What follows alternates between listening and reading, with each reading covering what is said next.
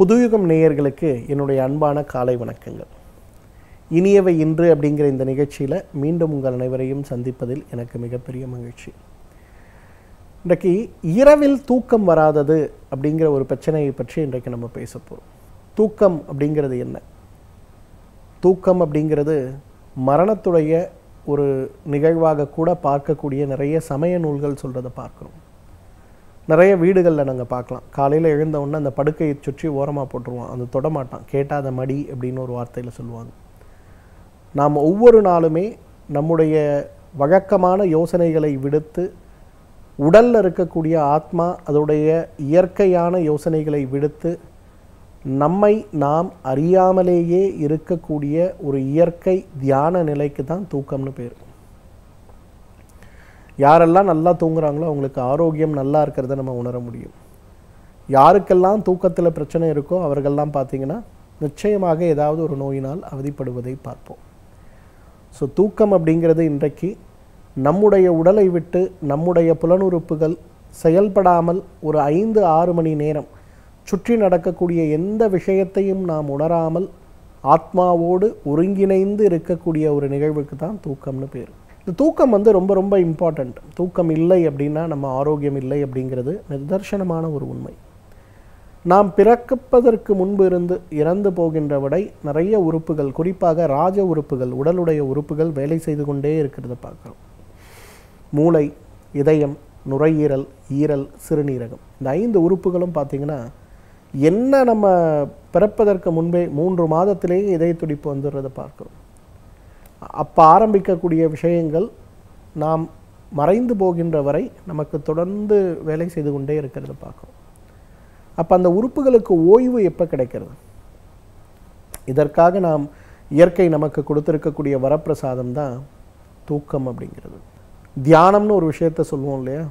தூக்கமும் ஒரு தியானம் தான். இன்றைக்கு யாரெல்லாம் மனதில் இருக்கக்கூடிய கவலைகளையும் உடலில் இருக்கக்கூடிய பிரச்சனைகளையும் சிறிது கூட உணராமல் ஒரு ஏழு மணி நேரம் எட்டு மணி நேரம் நம்மை மறந்து நம்முடைய உறுப்புகளில் இருக்கக்கூடிய சோர்வை மறந்து நாம் நினைவின்றி இருக்கக்கூடிய அந்த ஒரு நிகழ்வுக்கு தான் தூக்கம்னு பேர்.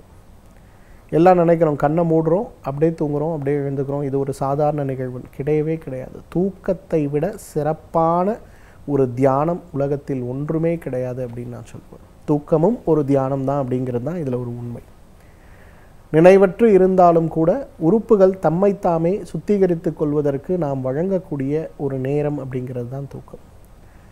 தூங்கும்போது நம்ம உடம்புல என்ன நடக்குது?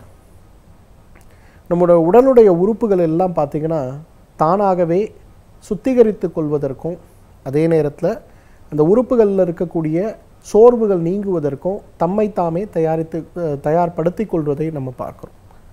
இப்போ உதாரணத்துக்கு சொல்லணுன்னா நம்ம மூளை சிறுமூளை சிறுமூளை கீழே முதுகு தண்டுவடம். அந்த தண்டுவடத்தில் நிறைய திரவங்கள் இருக்கிறத பார்க்குறோம். செரிப்ரோ ஸ்பைனல் லிக்விடுன்னு சொல்லுவோம். இந்த திரவங்களின் மூலமாக தான் மூளை அனுப்பக்கூடிய தகவல் சிறுமூளை வழியாக திரவங்களுக்குள் வந்து முதுகுத்தண்டிலிருந்து உற்பத்தியாகக்கூடிய நரம்புகள் அந்த தகவல்களை எடுத்து உடல் முழுவதும் நமக்கு வேலை செய்ய வைக்கிறது. இந்த திரவத்துடைய முக்கியமான வேலையே என்னன்னு பார்த்தீங்கன்னா இரவு நாம் தூங்கும்போது மூளைக்கு சென்று மூளையை சுத்திகரிப்பதற்கான மிகப்பெரிய வேலையை இது செய்கிறது. இதை வந்து இன்றைக்கு ரொம்ப அழகாக ஒரு எம்ஆர்ஐ மூலமாக கிளினிக்கலாக டாக்குமெண்ட் பண்ணியிருக்காங்க. தூங்கும்போது எம்ஆர்ஐ எடுக்கும்போது பார்த்தீங்கன்னா அந்த திரவங்கள் உள்ளே சென்று உள்ளே இருக்கக்கூடிய ஃப்ரீ ரேடிக்கல்ஸ் எல்லாம் எவ்வளோ அழகாக ரிமூவ் பண்ணுதுன்னு இன்றைக்கி டாக்குமெண்ட் பண்ணியிருக்காங்க. அந்த அளவுக்கு பார்த்தீங்கன்னா மூளை தூங்குகின்ற நேரத்தில் மூளையை சுத்திகரிப்பு செய்வதற்கான வேலை நடைபெறுகிறது. இரவு பத்திலிருந்து பன்னிரெண்டு மணி வரை பார்த்தீங்கன்னா உங்களுடைய செரிமான மண்டலம் ஓய்வெடுக்கக்கூடிய நேரம். அதனால தான் நம்ம எப்போவுமே சொல்லணும்னா ஏழு மணிக்கெல்லாம் உங்கள் உணவை சாப்பிட்ருங்க அப்படின்னு. நீங்கள் ஏழு மணிக்கு உணவு சாப்பிட்டீங்கன்னா பத்து மணிக்கு அதெல்லாம் செரிச்சு குடலுக்கு போயிடும் அப்போ செரிமான மண்டலம் சம்பந்தப்பட்ட விஷயங்கள் அழகாக சுத்தமாகிறத பார்க்க முடியும். இரவு பன்னிரெண்டு மணியிலிருந்து ஒரு மணி வரை பார்த்தீங்கன்னா உங்கள் ஈரல் சுத்திகரித்து கொள்ளக்கூடிய ஒரு நேரம்.